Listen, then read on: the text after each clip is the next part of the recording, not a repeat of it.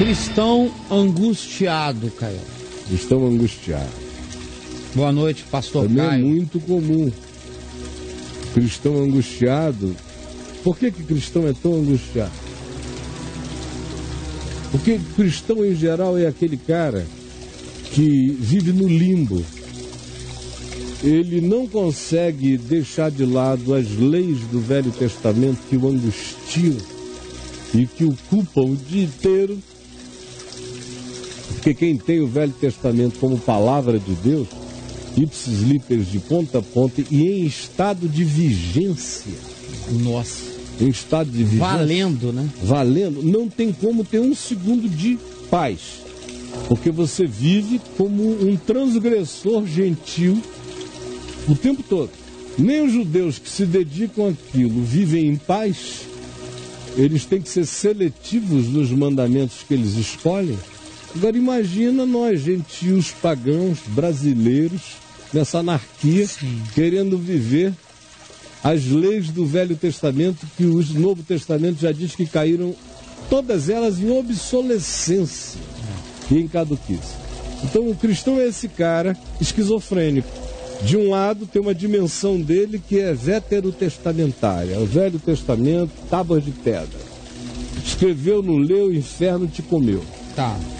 E do outro lado tem a mensagem do Evangelho da graça de Deus, mas que ele não consegue também abraçar, porque ela é antagônica à outra que também ele chama de palavra de Deus. O dilema do cristão é uma coisa esquizofrenizante, porque ele chama de palavra de Deus duas coisas antagônicas. E ele quer obedecer às duas coisas antagônicas. Ele quer servir a Moisés e ao Velho Testamento, e ele quer servir a Cristo e a graça de Deus, o que é impossível, como Paulo diz. Paulo teve que fazer uma decisão.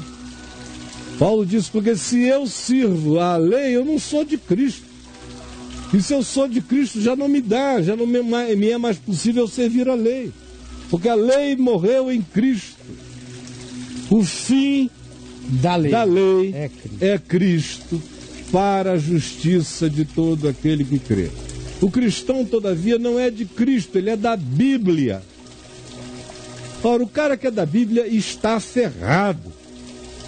Porque não dá para conciliar Moisés com Cristo. Acerca de Moisés, Jesus diz: Eu, porém, vos digo. Jesus dá um grito, um porém eterno para aquilo ali.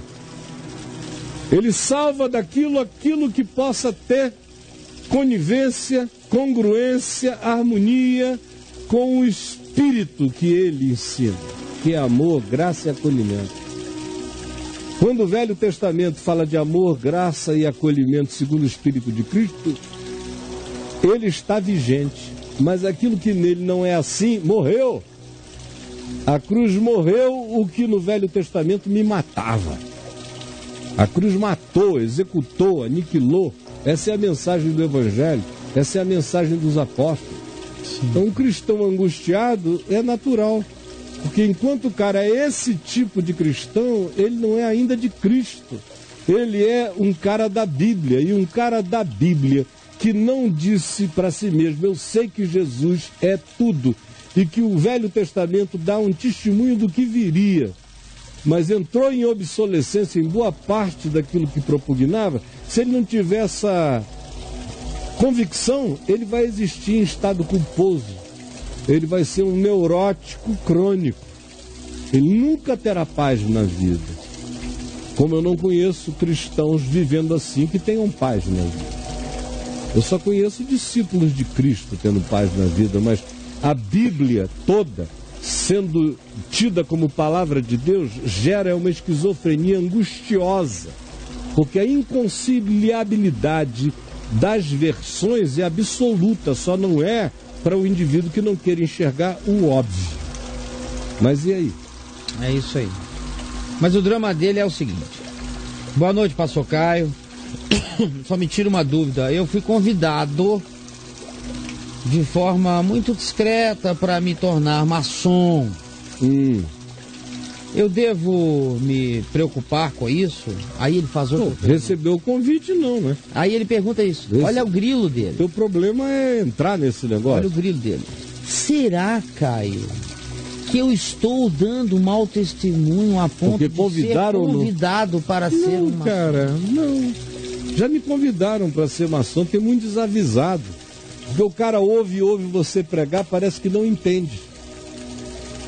Tem muita gente que me ouve aqui não me compreende, não é porque eu esteja falando nada difícil, não. É porque eu estou falando uma linguagem espiritual e a mente de muita gente não compreende a lógica espiritual. É verdade. Não compreende. Não, Paulo tem, diz não adianta, tem gente que as coisas espirituais se discernem espiritualmente e não carnalmente. É verdade. Eu estou falando, falando, ele entende meu português, mas ele não compreende o sentido final do que eu estou dizendo. É. Porque a mente dele está bloqueada. Olha, tem uma quantidade de gente que me ouve, me ouve, me ouve, mas é capaz de me encontrar e dizer, puxa, que grão-mestre o senhor não daria? Nossa, ia bombar lá. O né? senhor já nasceu iniciado. É, Quanto já me propuseram? Caio Grau 33. É, aí eu acho graça de rapaz, você não me entendeu mesmo, né? Eu prego, prego, mas vocês não compreendem, vocês não entenderam? Que eu sou desleal a qualquer coisa. Para ser de Cristo, eu não tenho fidelidade para com mais nada. Eu não tenho fidelidade para com o Estado. Eu sou de Cristo, eu sou um anárquico em relação ao Estado. Eu sou de Cristo, eu sou um anárquico em relação à religião. Eu sou de Cristo, eu sou um anárquico em relação às vossas agremiações. Eu sou de Cristo, eu sou um anárquico ideológico, político. Eu sou de Cristo, eu aceito apenas aquilo que passa e faz intercessão no ponto da intercessão com a linha do Evangelho, se alguma coisa defendida ou anunciada por alguém faz essa intercessão, esse ponto de intercessão, com ele eu sou coerente e em relação a ele eu digo eu concordo. Mas se ele segue em outra direção, segue sozinho, porque eu não tenho outra fidelidade além do Evangelho. Agora, tem gente que me convida para tudo. Tem maluco que olha para você, te ouve pregando aqui, tem maluca, por exemplo, que me ouve pregando aqui, falando de Jesus e fica com tesão do lado de lá, acha que a coisa mais gostosa do mundo seria ir para a cama comigo. Ixi. Justamente porque acha que não tem a menor chance, mas por isso seria uma loucura. Eu tenho culpa de que alguém faça essa viagem maluca em algum lugar, vai morrer seca. Não vai rolar nada, mas eu não tenho controle sobre a mente de ninguém sobre como eu também não tenho controle sobre a mente daquele que quer quase que me adorar, que me trata como um guru, como um totem, embora eu desconstrua essa loucura todo dia. Mas que culpa tenho eu acerca da insanidade do meu próximo? E nem você tampouco, meu filho.